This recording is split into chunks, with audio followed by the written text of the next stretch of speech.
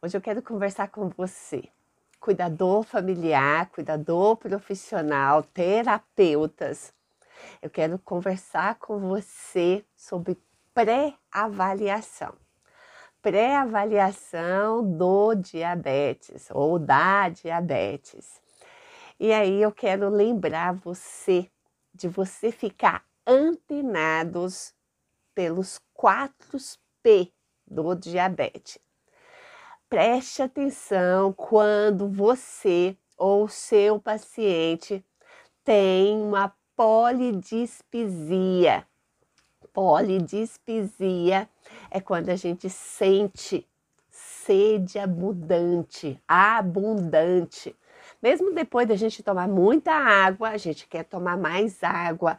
Então preste atenção quando o seu familiar está tomando muita água. Poli Outro P, polifagia. Quando também o seu familiar começa a comer muito. Quando acorda de madrugada e vai lá na geladeira. Não come de dia, mas come de madrugada. E o terceiro P é poliúria. Urina também, faz muito xixi. E às vezes o xixi tem mau cheiro. E o quarto P é o prurido. Muitos pacientes que tá com alteração na, na glicemia, ele tem prurido, ele coça, ele se coça.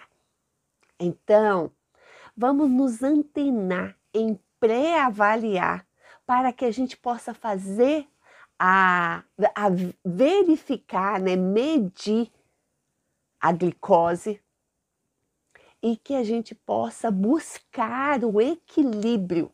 Por que, que a gente precisa pensar nisso?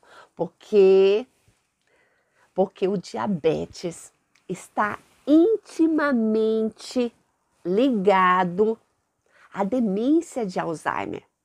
Mas, além disso, a pessoa que tem um aumento, uma hiperglicemia ou um diabetes descontrolado, ele tem duas vezes mais probabilidade, probabilidade de ter um acidente vascular encefálico ou um infarto todos esses três, essas três doenças vão gerar danos depois, mesmo que não venha óbito, vem danos depois. Vem sequelas, vem consequências. E hoje nós precisamos pré-avaliar, é, também prevenir porque a gente precisa fazer as mudanças de hábitos.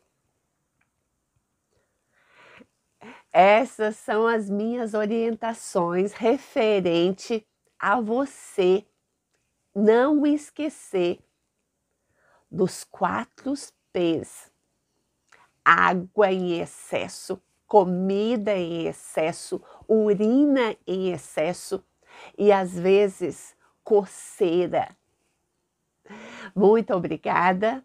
Eu estou com um canal no YouTube, Humanizando Vidas. Inscreva-se. Compartilhe o meu vídeo. Se tiver um sininho aí, bate o dedo nesse sininho. E eu te espero no próximo vídeo.